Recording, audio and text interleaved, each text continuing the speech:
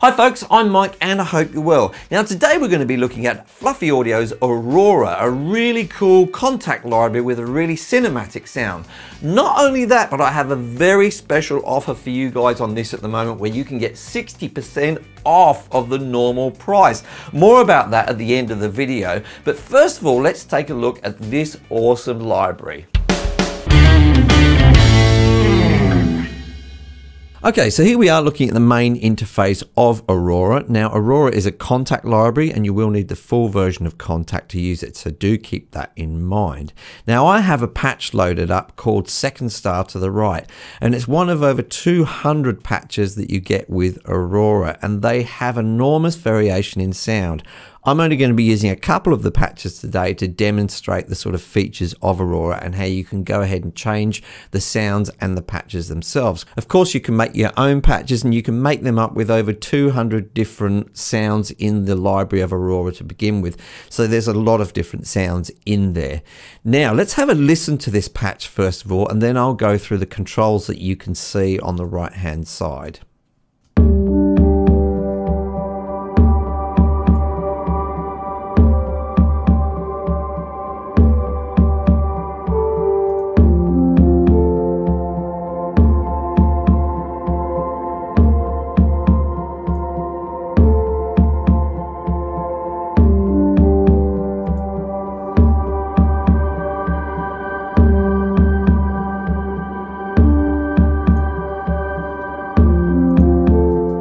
So as you can hear, just in that one patch, there's a lot going on. There's this kind of piano sound going on. There's an obvious drum percussion sound going on, and then this very atmospheric sort of top end sound. So let's have a look and see how those sounds are layered and sort of created and adapted. I'm going to start off by soloing that piano, and let's have a listen to it all by itself.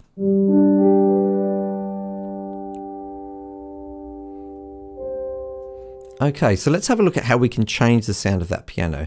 First of all, we've got these three controls here, amplitude, pitch, and pan. So amplitude just uh, changes the sort of overall volume of that piano or whatever instrument you've got loaded. And you can also use this slider just over to the left here to do the same thing. I find that a little bit more convenient when I'm blending the different layers together. Then you've got the pitch. As you can hear what that does there, fairly obvious, and then pan.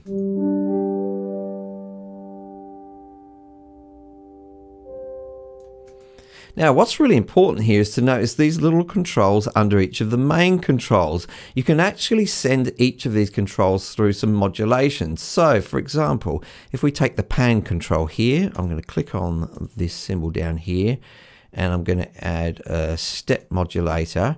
You can see that's come up here and it's set to one extreme in the first step, the other extreme in the second step, back to the first, and then it stays to one extreme. So that will be from one channel to the other, left and right.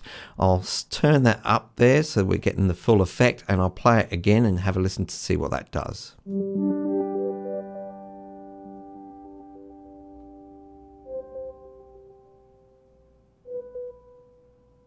So you can make quite big changes using these different modulations on any of these main controls.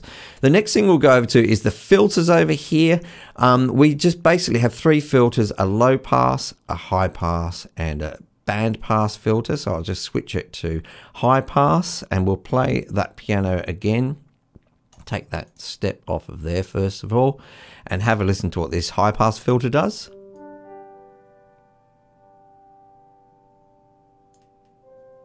So as you can tell, you're only getting the top end of the sound there, and obviously if I bring it down, you'll get more of the sound.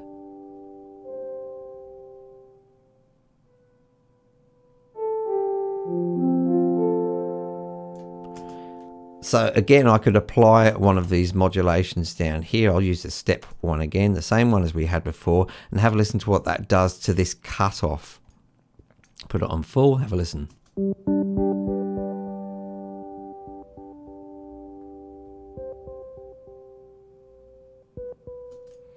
So again, we can really have some very dynamic control over each of these controls here.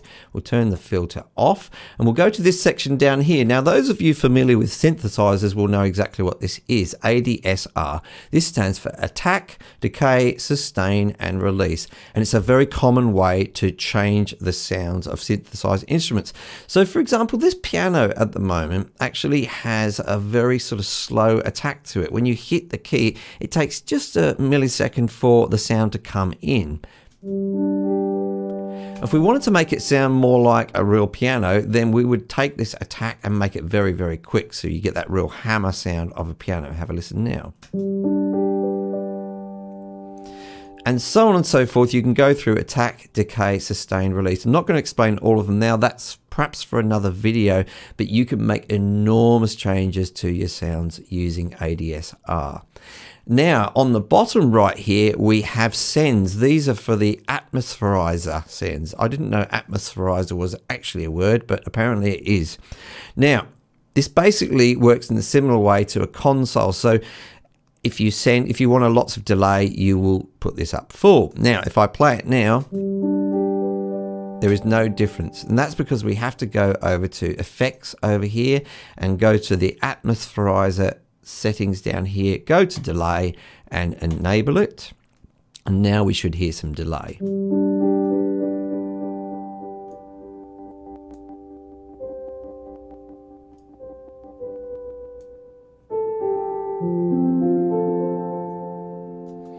So those are sends that we have there, and they are sends for each of the layers of the instrument. So they get all of these controls are individual to these layers.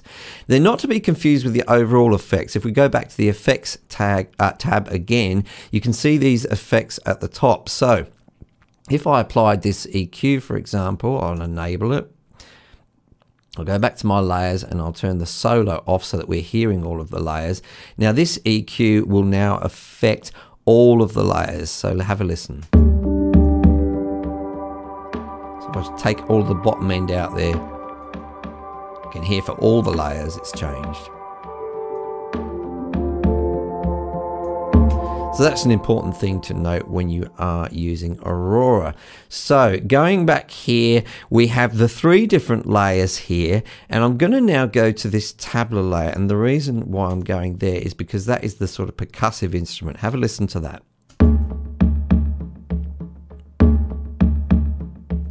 So there's a couple of things to note here. First of all, it's a single pitch instrument. Whatever key I hit,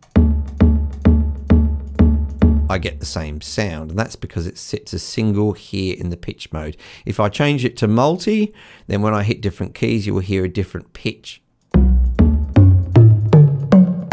Okay, so that's not what we want for this instrument. So we'll go back to single and we'll set the note down fairly low again. We'll put it down here to put it down here to this G. Okay, now the other thing that's happening is you can hear an actual rhythm being played. So if we look at the top here, it says rhythm pattern and it's set to pattern C. If we didn't want to have a rhythm at all, we'd just disable that and we'd get just a single uh, just a single beat but we'll go to pattern C and if we go to the rhythm tab here and switch to C we can see the actual pattern which it's using have a listen So I'll start to change that uh, velocity now.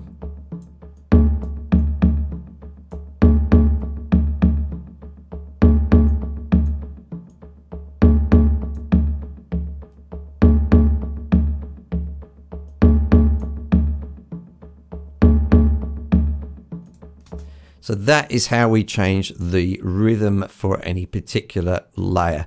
So that's the first patch I wanted to show you. Now I'm going to load up another really cool patch. It's called Scandinavia. So we'll just load that up now. And I've prepared just a little chord progression to show you how this particular patch sounds. So have a listen to that.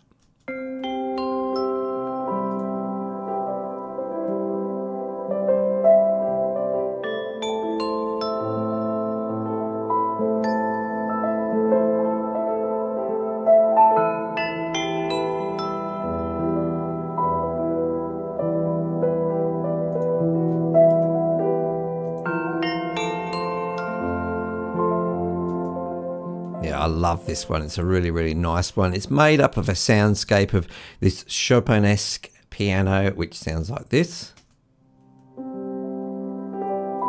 It's a lot of the sound you hear, and then just two different glockenspiel sounds layered there. Now, what if I want to actually add another layer here? So let me show you how you do that. I'd go to an empty layer down here.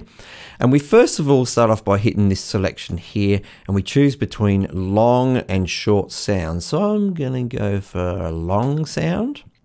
And then we have another selection box here, and here we can choose the different long, long sounds available to us in the Aurora library. So I'm going to go for a pad and then I can see all of the pads here and uh, you can see there's a few there and I'm going to go for ocean. So that is now loaded up and we have now a fourth layer. Now I'm just going to solo that and have a listen to it by itself.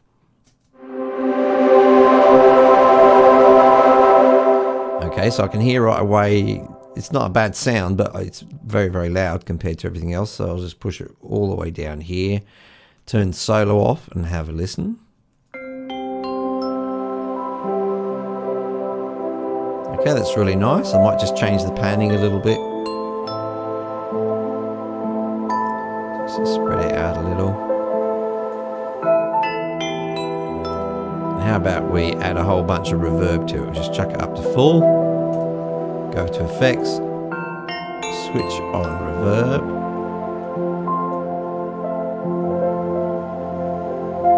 Okay, that's nice.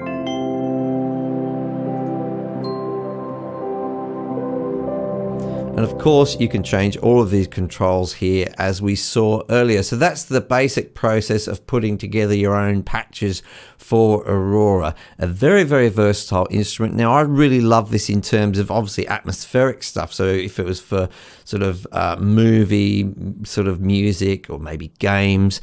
But I've got to say, I could use this quite happily in songs as well. I'd love to hear these sort of sounds with acoustic guitar and vocals on top. I think you could get some really cool results results from that, and that's what I'll actually be doing with it.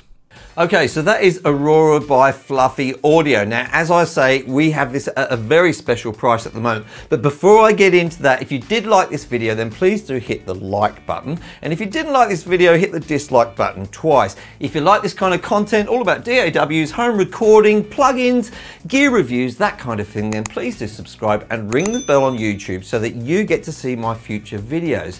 So at the moment, Aurora has 60% off if you follow the link down below in my description. That means where it normally costs around about 169 US dollars, you're gonna pick it up for around about 66 US dollars, which is a very affordable price indeed. So if you're interested in that, then follow the link in the description below and you can enjoy Fluffy Audio's Aurora today. Now, thank you for joining us and I will see you in the next video.